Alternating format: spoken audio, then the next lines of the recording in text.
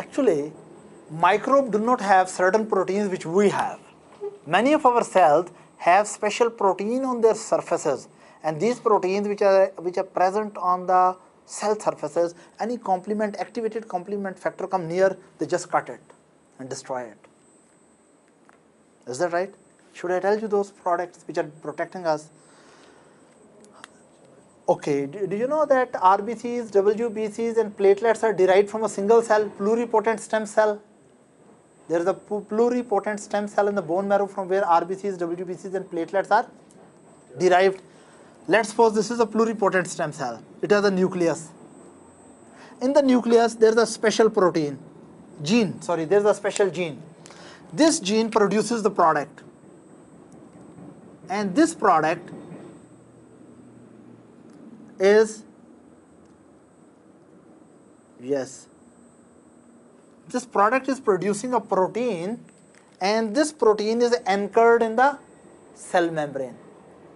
This is cell membrane. Is that right? And this protein which is anchored in the cell membrane. Is that right?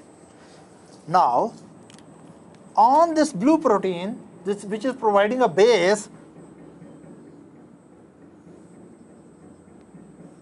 what is this thing? This is complement cutter. This is another protein which is anchored on that. And in the future, this system will be inherited by RBCs WBCs and platelets. So all of them will have such cell membrane protein. At the top of this, there are complement inactivating proteins present. So that when RBCs are passing through some very dangerous area of inflamed area and complement are trying to attack, RBCs keep on neutralizing the complement and pass happily through them. Are you clear? One of this protein which inhibit the complement system is called decay accelerating factor.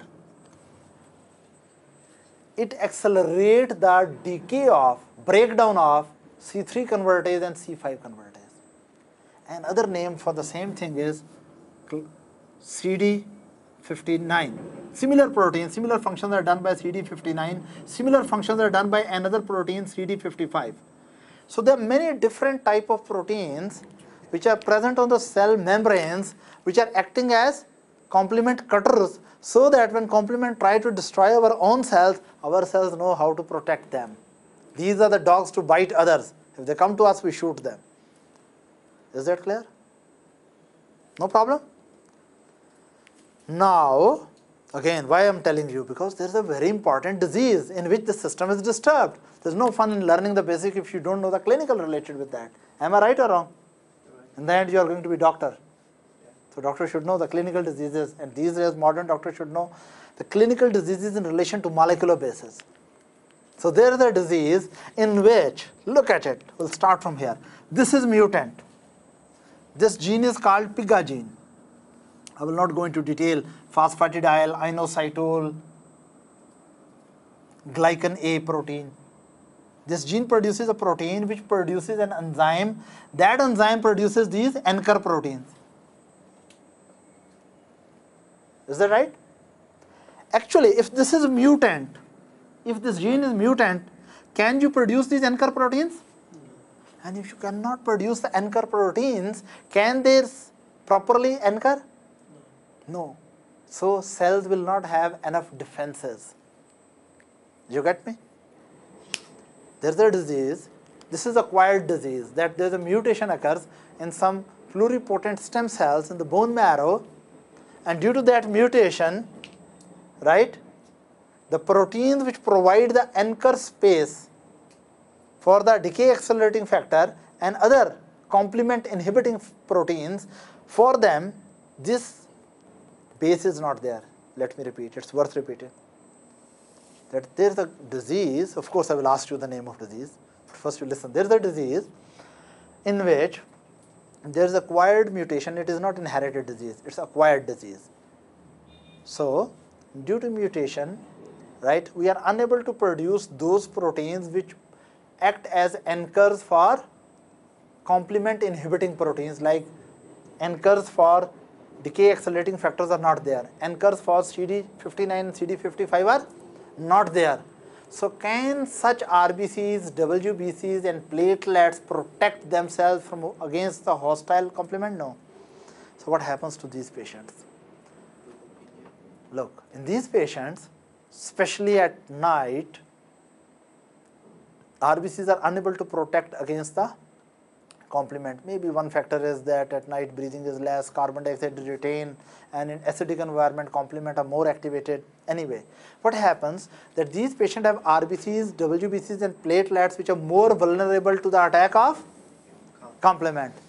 So they tend to develop what? They tend to develop hemolysis, right? These patients develop, number one, hemolysis, RBCs breakdown inappropriate. And this hemolysis occur within the blood. RBC breakdown within the blood. They develop intravascular hemolysis. And these patients, when in the morning urine, they find hemoglobin. You know, RBCs have hemoglobin, you, you must be knowing that. And then RBCs break down, hemoglobin come out. And hemoglobin molecule, the small molecule, they can leak through glomeruli and appear into urine. So, if I'm having this disease, RBCs will break down in my circulation and from broken RBCs, what will release? hemoglobin and hemoglobin will go into urine and I will have hemoglobinuria. What problem I will have? Yes, please. Hemoglobin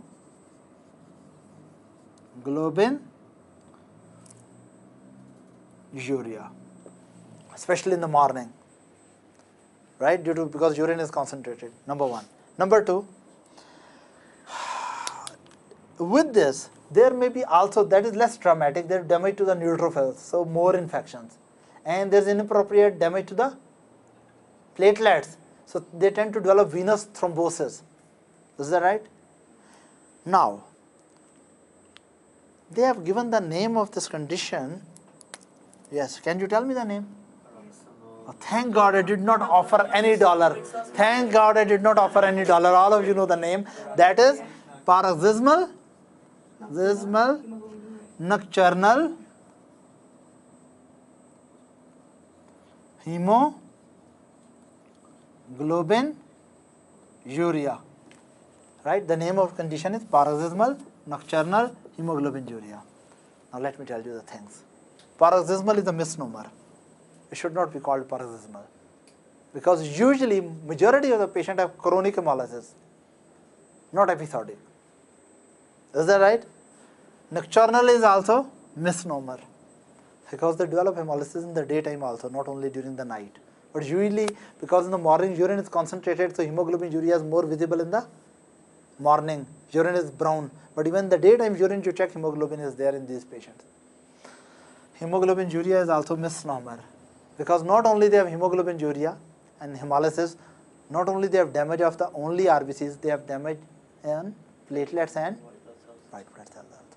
So, you have to remember one thing, paroxysmal nocturnal hemoglobinuria is a misnomer.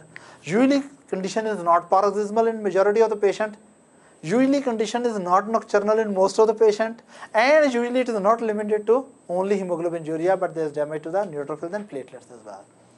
Right, but anyway when they discovered this disease initially, right, they were able to appreciate these things more than other dysfunctions, so they put the name paroxysmal nocturnal hemoglobinuria. So now you know what is the pathogenesis of paroxysmal nocturnal hemoglobinuria.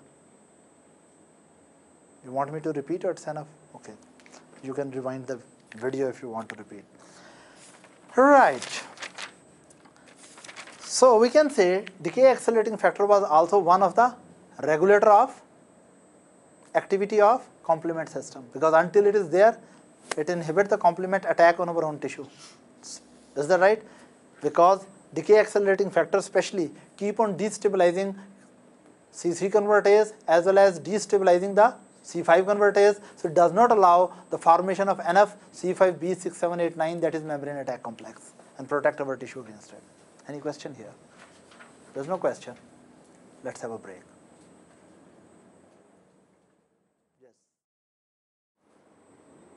Now we will discuss few more clinical points related with the complement system.